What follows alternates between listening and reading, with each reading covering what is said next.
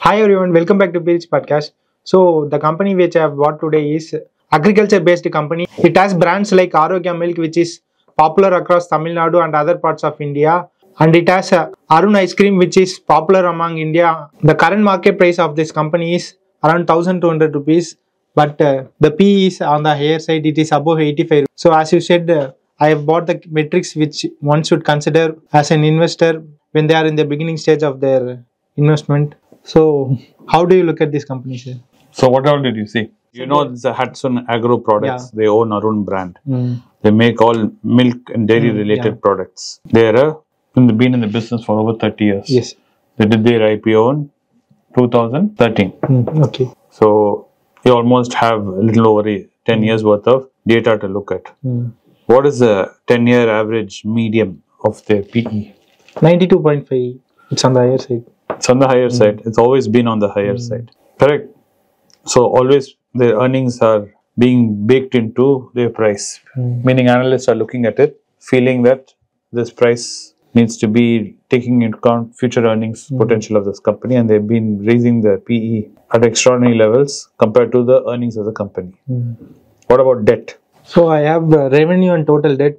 The revenue for the 2022-23 year is Mm. 7,257 crores, Mm. and the total debt is 1,447 crores. So there's a lot of debt. Yeah.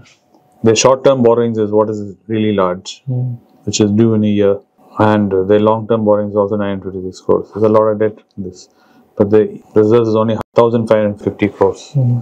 So why do you like this company? because uh, in our everyday lives we use uh, milk which uh, is commonly used by the people of uh, india Hmm. so arokya brand is popular in tamil nadu Hmm. and uh, curd brand they make uh, which is called Hatsun curd Hmm. it is also very famous uh, in tamil nadu Hmm. so when i look at the company the products which we use in our everyday lives so when the company is making that we can look at it for investing but uh, looking at the metrics uh, the PE is uh, on the higher side. Beyond higher side, man. Hmm. Even if I take, let's say, the median to be 92, Mm.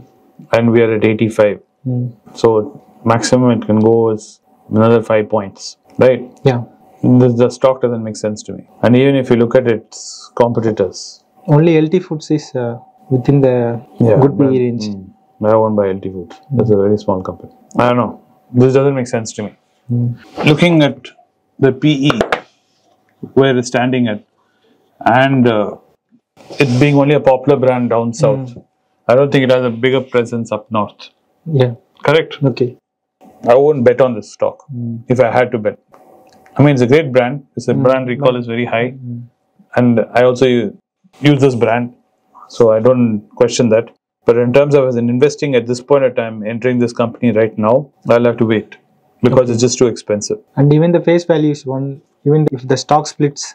No, no. See, if the stock splits, even your earnings per share splits. Mm. So price to earnings does not change just because of stock split. The problem is the price has to come down. Mm. It has to be reasonable in its pricing. So even if stock splits, your PE ratio does not change because price and earnings will move in tandem, Yeah. right? So what you need is you need price correction to happen in this, and I don't see price correction happening in this stock because most of it is held in promoters. FIIs are hardly present in this stock. Less than DIIs, five percent. yeah, DIIs are, are almost 10%. And that is all mutual fund. SBI mutual fund is sitting on it. So I really don't see any price movement coming down in the foreseeable future of this stock. I wouldn't bet on this.